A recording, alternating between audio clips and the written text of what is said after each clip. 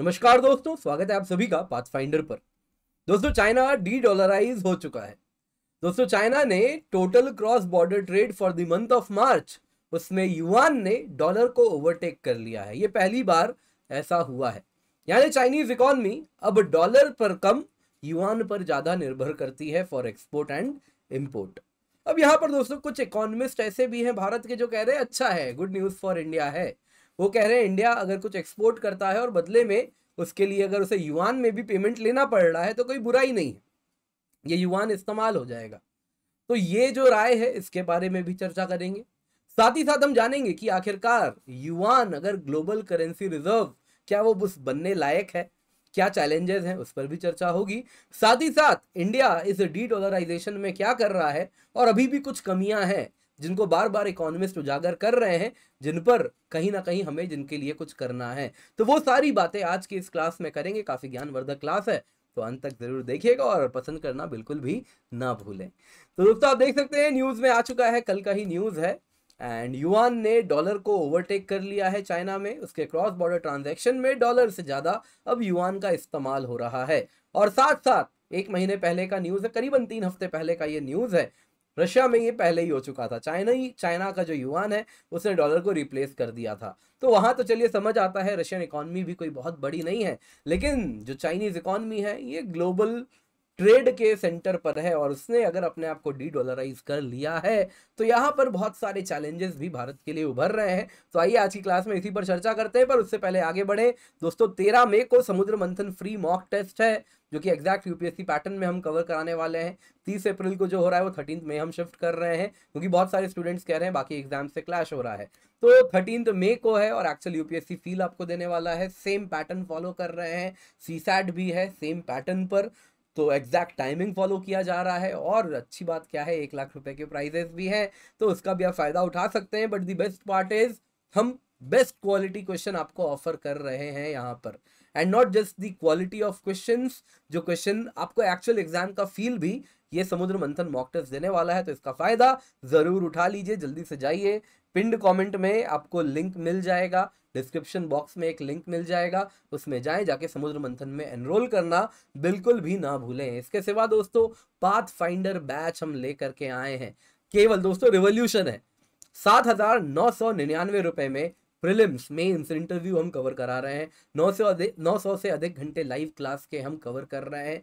दोस्तों UPSC experts के द्वारा क्लास ली जा रही है। दोस्तों, यहाँ पे आपको बता देता हूँ, ये जो कीमत है, ये केवल और केवल थर्टीथ अप्रैल तक है तो अगर आप यूपीएससी स्टेट पीएससी अन्य किसी एग्ज़ाम के लिए प्रिपेयर कर रहे हैं तो यहाँ पर ज़रूर जुड़े। आपकी जो प्रिपरेशन है, उसको हम स्ट्रीम लाइन करेंगे और आपको एग्ज़ाम रेडी बनाएँगे। हम आपको दोस्तों मेंटरशिप भी ऑफ़र कर रहे हैं mock test prelims mock test for main सब कुछ ऑफ़र कर रहे हैं। इंटरव्यू गाइडेंस प्रोवाइड कर रहे हैं, यानी वो सब कुछ जो किसी भी व्यक्ति को एग्ज़ाम क्लियर करने के लिए चाहिए, वो आपको हम प्रोवाइड कर रहे हैं। यानी कि पैसे अब आपके सक्सेस के रास्ते में आड़े। नहीं आ सकते।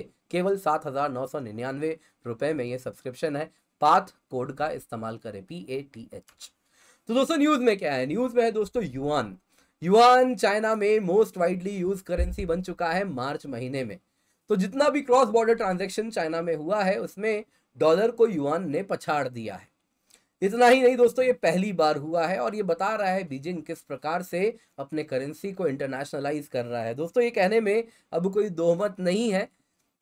कहीं ना कहीं यूएसए ने रशिया यूक्रेन वॉर में डॉलर को जिस प्रकार से वेपनाइज किया, उसके बाद से डॉलर से लोगों का भरोसा कम हुआ है और डी डॉलराइजेशन बहुत जो होनी नेचुरल प्रोसेस था, जैसे जैसे अमेरिकन इकोनॉमी पीछे जा रही थी, लेकिन दोस्तों, इस रफ्तार से होगी वो कैटलिस्ट का काम अमेरिका के वेपनाइजेशन ऑफ़ डॉलर ने किया है स्विफ्ट सैंक्शंस जो रशिया पर लगाए थे, वो हुए हैं। तो उसका फ़ायदा युआन उठा रहा है। तो उसमें जो cross border payment and receipts in yuan China में जो हुआ है, वो पिछले महीने केवल 434.5 बिलियन था।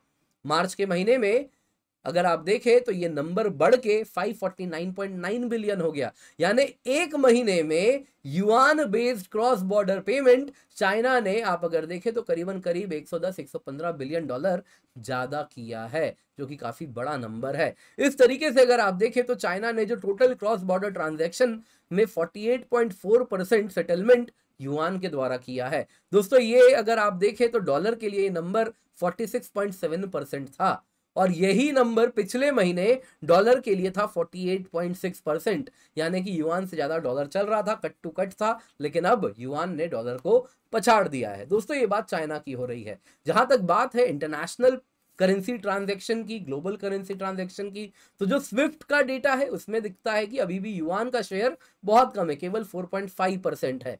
और डॉलर यहाँ पे 83.7 परसेंट ऑफ़ टोटल जो ट्रांजैक्शन स्विफ्ट के माध्यम से हो रहा है, जिससे रशिया को बैन किया गया था, रशिया के काफ़ी बैंक्स को निकाला गया था तो उसमें कहीं ना कहीं ये आज भी डॉलर बैग्ड है। तो डॉलर आज भी ग्लोबल करेंसी में इस्तेमाल तो की जा रही है, लेकिन डी डॉलराइजेशन की वेव देखने मिल रही है।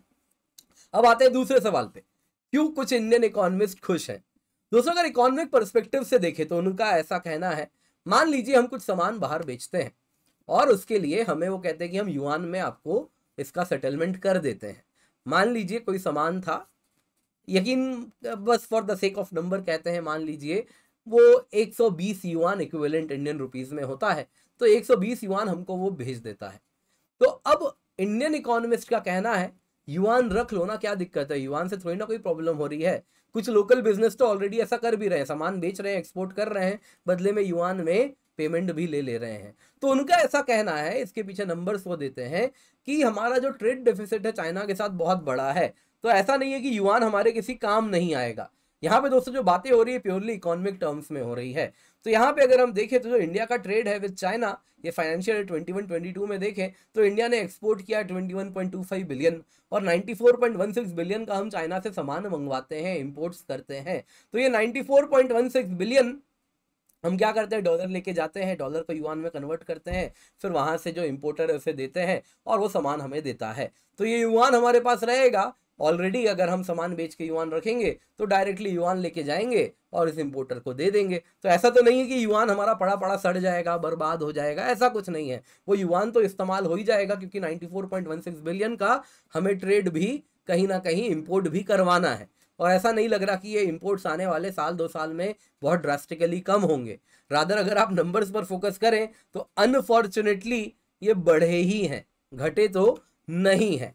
तो यहाँ पर दोस्तों उन इकोनॉमिस्ट का यही कहना है कि अगर हम प्योरली इकोनॉमिक सेंस की बात करें शॉर्ट टर्म में तो सरप्लस युवान हमारे लिए इस्तेमाल हो जाएगा। तो यदि हमें रशिया बोलता है कि तुम तो हमसे पेट्रोल पेट्रोलियम ले रहे हो तो बदले में हमें युवान में पेमेंट करो। तो ऐसी कोई खास दिक्कत नहीं है या फिर तुम युवान में लेके हमसे सामान ले लो तो कोई खास दिक्कत नहीं है, उनका ऐसा कहना है। लेकिन दोस्तों, अगर हम युवान को ग्लोबल रिज़र्व करेंसी बनने दिए तो ये हमारे लिए लॉन्ग टर्म थ्रेट होने वाला है। और इंडिया भी ये बात अच्छे से, भारत भी ये बात अच्छे से समझता है। भारत ने भी अपने बैंक्स को साफ़ साफ़ कह दिया है ट्रेडर्स को साफ़ साफ़ कह दिया है कि रशियन इंपोर्ट्स के लिए रशिया से अगर आप कुछ भी सामान ला रहे हैं, बदले में उन्हें युआन में पेमेंट आप नहीं करेंगे। आरबीआई ने भी कुछ अप्रूव कर दिया है। रुपी को कहा है कि, युआन युआन छोड़िए। हम रुपी अप्रूव कर रहे हैं ना इन अठारह देशों में। वो इसमें अगर आप देखें तो बोट्सवाना है, फिजी है, जर्मनी है, गयाना है इसराइल है, केनिया है, मलेशिया है, मॉरिशस है, बहुत सारे देश है। Russia, Oman, Singapore, Sri Lanka, Tanzania, Uganda, UK तो इन सभी देशों में आरबीआई ने कहा है कि आप रुपी का इस्तेमाल करके ट्रेड कर लीजिए और इसको इफ़ेक्टिव बनाने के लिए वॉस्ट्रो अकाउंट भी बनाए जा रहे हैं। बनाए गए हैं, ऑलरेडी इफ़ेक्टिव हो चुके हैं इंडियन बैंक्स में, जो कि इस प्रकार के ट्रेड को कंडक्ट करवा लेंगे। तो दोस्तों, यहाँ पे आप देख सकते हैं इंडिया ने भी साफ़ साफ़ इस प्रकार से न्यूज़ कटिंग भी मैंने लगाई है, जिसमें दिख रहा है कि कैसे इंडिया ने कहा कि foreign trade settlement Chinese yuan में नहीं करना है। रशियन इंपोर्ट्स के लिए काफ़ी ज़्यादा यूज़ किया जा रहा था। पर दोस्तों, यहाँ पे ना, अगर इंडिया युआन को रिप्लेस करना चाह रहा है तो आज भी बहुत बड़ा चैलेंज है। इंडिया का जो रुपी है, इंडिया का जो करेंसी है, भारत का जो करेंसी रुपी है, वो पार्शियली कन्वर्टेबल है। यानी मान लीजिए, मुझे रुपी को कन्वर्ट करवाना है किसी दूसरे करेंसी में फॉर पर्पस ऑफ़ एग्ज़ाम्पल मान लेते हैं, हमें रुपी को कन्वर्ट कराना है टका में। तो टका में हम डायरेक्टली कन्वर्ट नहीं करा सकते, हम रुपी को कन्वर्ट करते हैं डॉलर में, फिर डॉलर से टका में। तो इस प्रकार से ये क्या होता है? पार्शियली कन्वर्टेबल होता है।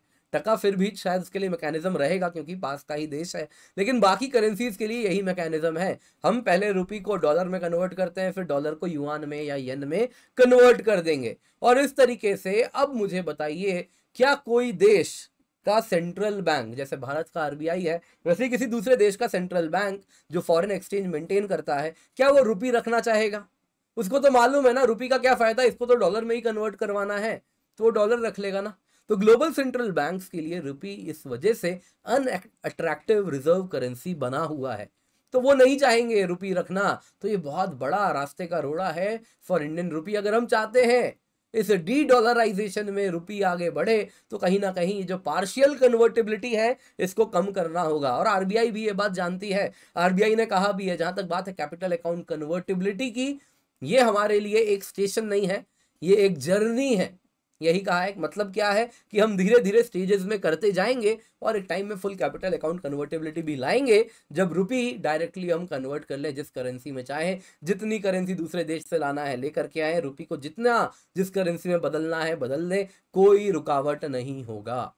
तो दोस्तों, ये लेकिन प्रोसेस है। ये चाहे पाँच दिन में हो जाए तो पाँच दिन में नहीं हो पाएगा, क्योंकि इकोनॉमी को बहुत ज़्यादा शौक की संभावना बनी रहेगी और हम नहीं चाहेंगे ऑलरेडी इस मुश्किल घड़ी में और भी तीसरा शॉक एक्सटर्नल शॉक इकोनॉमी पर पड़े।